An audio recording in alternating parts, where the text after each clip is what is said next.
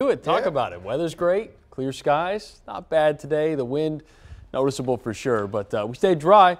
Even worked in some sunshine. So it's clear skies tonight. Dew points into the teens. These numbers are really far apart. You got to look at the temperature first, and the dew point in the teens. The farther that spread, the drier the air mass, and that's really started to settle in tonight. That'll keep skies mainly clear.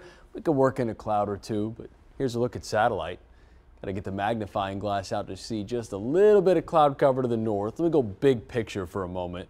A few clouds off to the west, but you can see it's a really quiet stretch. High pressure in control, which is dry sinking air, providing the clear skies tonight. It'll give us sunshine again tomorrow as we stay clear. So let's plan that all out on Futurecast. Timestamp for reference will go overnight into tomorrow morning. As you start your day on Wednesday, it's a lot of sunshine, wind still out of the northwest.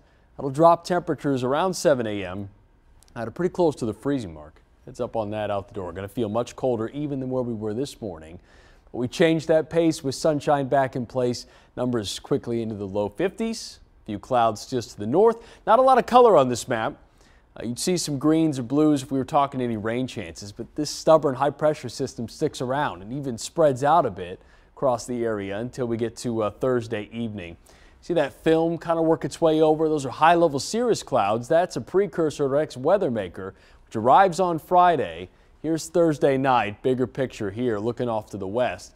That low pressure system getting a little more organized. Now, latest model runs with this have taken it a little bit farther south and brought it in quicker. Now, what that means for us is that Friday features a few more showers, spotty up front at 8 a.m., and even a little bit of mix some snow, some of the higher elevations, wouldn't be surprised to see some big wet flakes out of that one.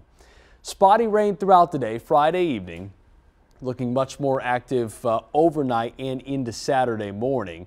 There's the overnight hours, a good soaking rain for most 3 a.m.